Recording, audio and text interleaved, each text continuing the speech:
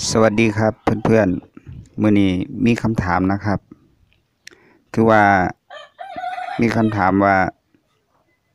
ผมเฮ็ดเตา F5E นะครับบ่ต้องขุดได้บ่นะครับก็บ่ขุดก็ได้นะครับ แต่ว่าผลมันสิบ่ได้ดีปานใดนะครับ เพราะว่าปัจจัยในการคายแก๊สของใหม่มันมี ก็คือลมนะครับนะครับ ถ้าลมมัน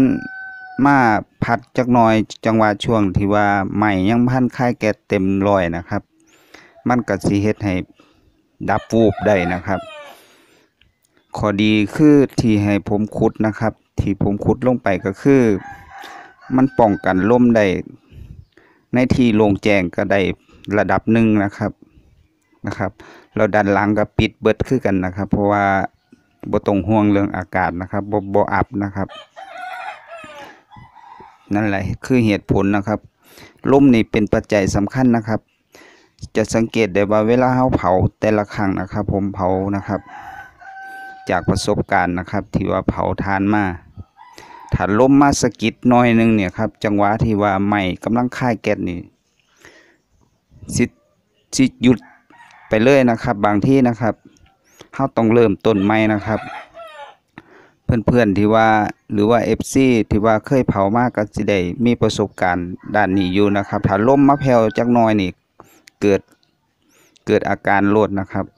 ผมก็เลยมาบอกว่าเออขุดดีกว่านะครับ เพราะว่าจะได้ผลนะครับ ได้ผลดีนะครับ เพราะว่ามันเป็นการป้องกันลมนะครับ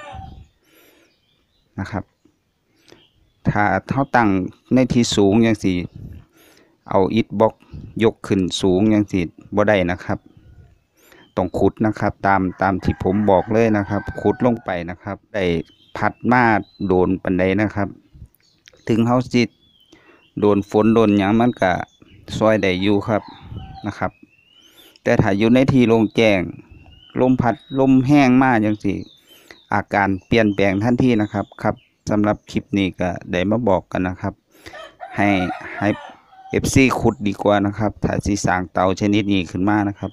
เหมาะในการขุดลงไปนะครับ ครับสำหรับคลิปนี้ก็ได้มาบอกกันนะครับ